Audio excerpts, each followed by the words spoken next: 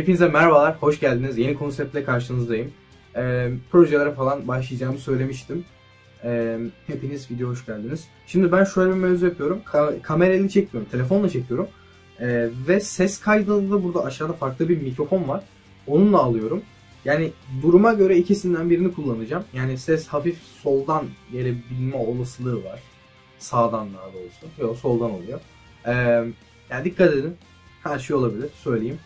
Ee, hani şimdiden özür dileyim yani onu demek istiyorum. Şimdi şöyle bir projemiz var. Ee, ben sizden projeleri söylemenizi istedim. Hani biraz absürt şeyler yazdım işte uçan robot, işte su getiren robot tarzı şeyler. Ee, ben hani o tarz şeyler değil de sizden daha mantıklı şeyler bekliyordum en azından. Şimdi benim şöyle bir projem var e, aklımda. Bir küp uydu projesi. Şu an uzaya gönderilen e, küp uydular var ve bunlar da aynı şekilde. Ekranda falan görüyorsunuz zaten. Şu an e, gerek devlet düzeyinde olan gerek kişisel uydular roketlerle birlikte uzaya gönderiliyor ve yine 10 santim 10 santim şeklinde şöyle bir küp. Küçük bir küp yani. Bunu uzaya göndermek çok basit, daha az maliyetli en azından. Şöyle mevzular var, e, yani şöyle basitleştirilmiş durumlar var. Mesela sıcak hava balonuyla bir yüksekliğe kadar gidiyorsun. E, o yükseklikten sonra basit küçük bir füze şeklinde bir roketle onu hemen atmosfere bırakıyorsun. Yani dünyadan yukarıya, uzaya, atmosfere daha doğrusu bir roket atmanıza gerek yok. E, böyle çok daha basit bu hale geliyor. Tabii hani taşıyabileceğiniz maksimum kapasite azalıyor ama bu e, küp uydular zaten 1 kilo civarında. E, bu yüzden basit. Tamam ben uzaya atmayacağım bunu. E, temsili bir şey olacak. Yaptığı işlerin benzerini yapacak. Verileri toplayıp radyo frekansla bana gönderecek. Ee, tabii şöyle durumlar varmış galiba hani atmosferden buraya gelmesi uzun sürdüğü için Morse alfabesi falan kullanıyormuş. Galiba bak galiba emin değilim. Bir yerde okudum zaten. Onu araştırmadım. Araştırma gereği de duymadım. Ee, ben direkt veriyi göndereceğim. Şimdi elimde şöyle şeyler var. Şu gördüğünüz e, yaptığım cihaz. Bununla yani şu antenle e, verileri alıyor ve e, kırmızı ledimizi yakıyor. Olay bu. E, bir de verici devremiz var. Ben onu söktüm. Yani o verici devresini şu an kullanmıyorum. Ee, şu taş şöyle göstereceğim. Evet. Verici devremiz burada olacak. Ee, küp uydunun içinde olacak. Böyle küçük demir e, bakır plaketi yapmayı düşünüyorum. Arduino Nano'muz var burada. E, o Uno ile çalışıyordu. Yani büyük olması için, hani küçük olmaması için daha doğrusu. Bunun içine küçük bir şey koymamız gerekiyor. E, böyle 2-3 adet modülümüz var. E, güneş panellerini falan bunlara bağlayacağız. Bunlar böyle üst üste gelecek.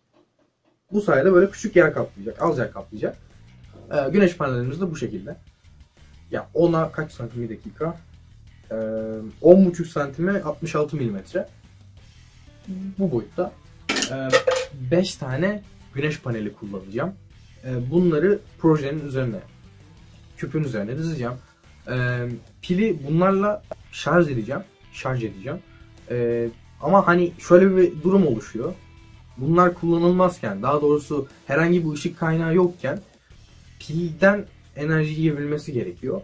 Ben direkt şöyle yaptım. E, tüm panelleri paralel bağladım. Pile de paralel bağladım.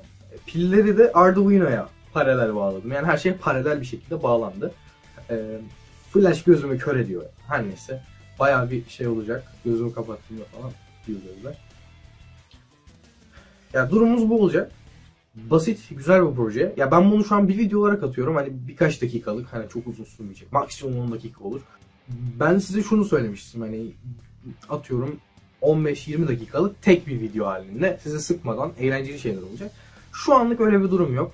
Yani bunu yapabilmem için benim uzun zaman ihtiyacım var. Sizleri de hani kanaldan soğutmak istemiyorum. Ee, hani boş bırakmak istemiyorum daha doğrusu.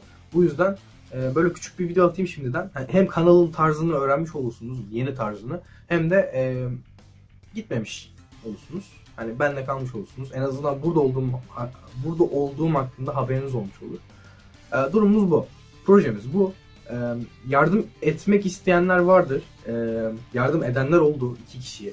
E, Türk Pala ve Bay Koala isimli e, iki kişi benim e, YouTube kanalıma katıldılar. Üyem oldular. E, onlara hepsine teşekkür ediyorum. İkinize de çok teşekkürler. E, sizler sayesinde yine en az şöyle iki tane panel almışımdır. Bir panel almışımdır. ikinizin sayesinde. Şimdi şöyle seçenekler var. E, katılabiliyorsunuz. YouTube'un yeni abonelik sistemi. Twitch'ten özenti gibi duruyor ama hani Twitch'teki abone özelliğiyle e, eşit değerde. E, bu fiyatı ben çok tutmamaya çalıştım. 10 lira, 15 lira ve 100 lira şeklinde.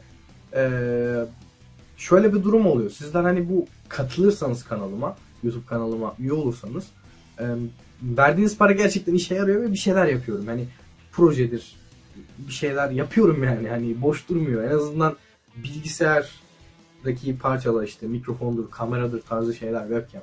Bunları zamanında almıştım tabii de. E, yaptığınız hani bana e, bu konuda yaptığınız her destek bir şeylere e, sebep oluyor. Bir şeylere yardım etmiş oluyorsunuz. Edenlere çok teşekkür ediyorum. Türk Pala ve Vaykoala'ya şimdiden. E, şöyle bir mevzu da yapacağım. Hani bunu ayrı bir videoda yapmam gerekebilir ama hani videonun sonunda tüm üye olanların isimlerini vereceğim. E, o aylık içerisinde veya işte bilmiyorum ona bakarız. Tam olarak nasıl olacağını bilmiyorum. E, abone olanların isimleri videonun sonunda belirtilecek. E, 100 liralık şeyler falan verirseniz artık hani kanal sizin tarzı bir şey yazmıştım ben oraya. Kanal sizin değil hani o kadar şey yapmayın. Kanal sizin değil. Benim hala kanal.